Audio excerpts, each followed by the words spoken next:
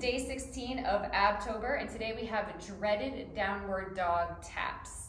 30 seconds on, 10 seconds off, three times through. So we're gonna get into a high plank. All right, wrists underneath the shoulders.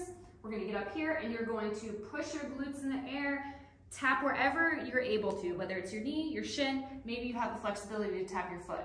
I tap my shin, so I'm gonna push back, I'm gonna tap, I'm gonna hit that high plank, and then I'm gonna push back and go to the other side. Just make sure you hit that high plank in between each rep. All right, 30 seconds on, 10 seconds off. Let's get to it. We're gonna go in three, two, one. So nice, slow and controlled. Tap, hit that high plank for a second, and then go to the other side.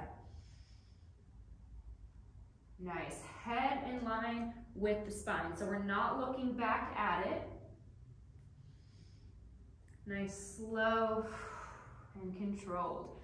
Find your breath, feel that nice stretch. All right, we've got three, give me one more. Two, one, and rest. Nice, I want you to brace that core like somebody's about to punch you in the stomach. Engage that core.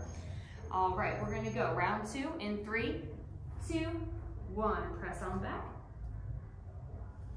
Nice, slow, and controlled. We only got three rounds. This is a pretty quick one, just a minute and a half of work.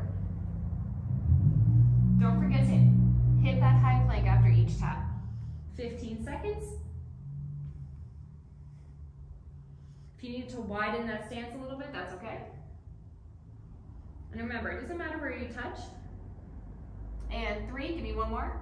Two, one. All right, 10 seconds rest. Go back into child's pose if you need to. Stretch it out a little bit. All right, last round and then we're done. We go in three, two, and one. I'm gonna try to touch my foot. Woo! Challenge yourself. Oh, I didn't think I could touch my foot. Okay.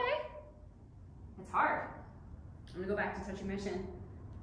Hit that high plane, don't forget about it. We're not gonna keep the booties in the air and just tap. These are dreaded downward dog taps. All right, we're almost done for the day. We have five, give me two more. Four, three, this is a very long countdown. Two, and time. All right, and we are done. I will see you guys tomorrow for some hollows body hold.